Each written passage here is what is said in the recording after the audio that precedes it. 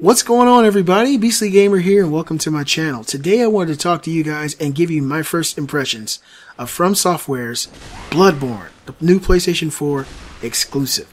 Now before I get to my impressions, I want to say that I think exclusives make a video game console worth having. And unfortunately, up until this point, PlayStation 4 hasn't had very, very many.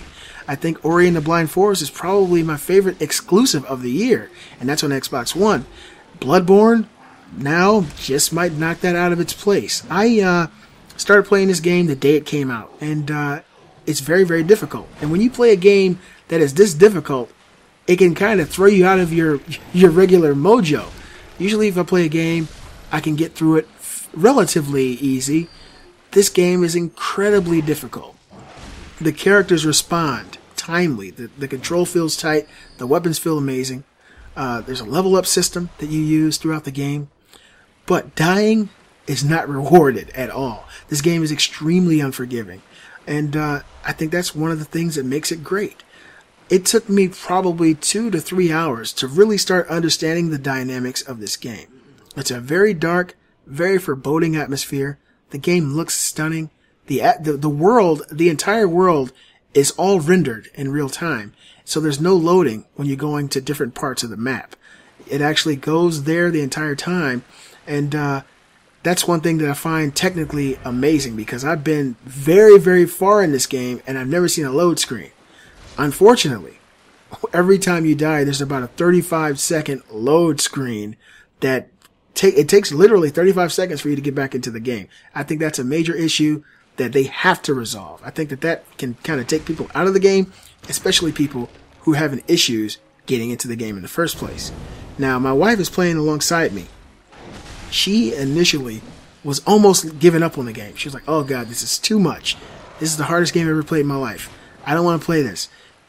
After about two to three hours, which it did take about two to three hours, she started really understanding, and so did I. Because for the first hour and a half, I was getting my ass handed to me. I would die within the first five minutes. I didn't understand what I needed to understand about this game and how to maneuver in the world and how to defend and how to move and how to strafe and all these crazy things that you can do. Changing your weapon's form. You can actually change the form function of your weapon using your, your gun, your shotgun or your pistol. All these things come into play with practice and uh, they really make the game more accessible.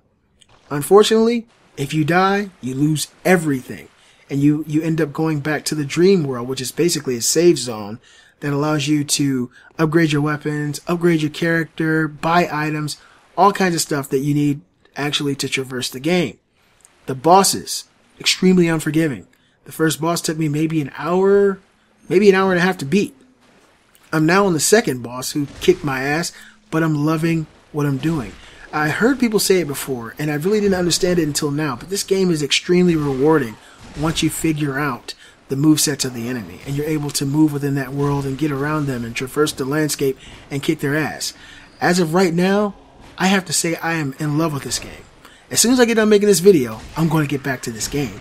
Uh, it is very, very fun, and I have to say this is the first true PS4 exclusive that I think people must own. Now, let me add a caveat here. If you don't like difficult games, this is probably not the one for you. But if you like a game that's going to challenge you, that has a lot to offer, that has a very open and expansive world, tons of enemies, upgradability, awesome weapons, and an amazing soundtrack. And I have to express that. The soundtrack is awesome. You guys should definitely check out Bloodborne on PlayStation 4. If you guys like the video, give it a thumbs up. And if you're new, don't forget to subscribe. Thanks for watching, guys. I'm the Beastly Gamer, and I'll see you guys next time.